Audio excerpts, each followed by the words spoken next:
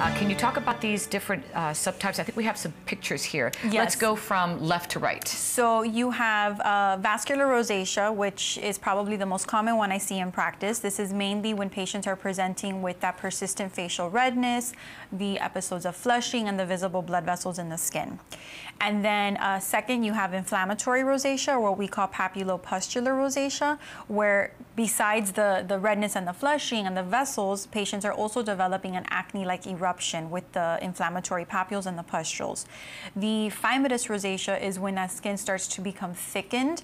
Um, you basically get what's called hypertrophy or thickening of the connective tissue. You also get a thickening of the sebaceous or oil glands, and that's what can cause that skin to look very bumpy in appearance. You can see in the picture that the gentleman has even like an enlarged nose. That's what we call rhinophyma.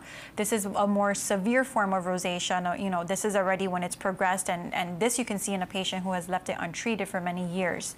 And then uh, lastly, you have ocular rosacea, which is when you start to get involvement of the eyes, where patients get what looks like conjunctivitis, so redness of the inside of the eye, of the eyelid margin. Uh, they can get styes. They can get a lot of dryness in that area. And that's also a more you know, that's usually um, coincided with a more severe form of rosacea. I have a couple questions regarding these pictures. If we could bring them back, because I, I, was interested with just a few of them, so I can ask her something. I noticed in the one that you said where it flared up in the nose, and if we can bring that up, I would greatly appreciate it.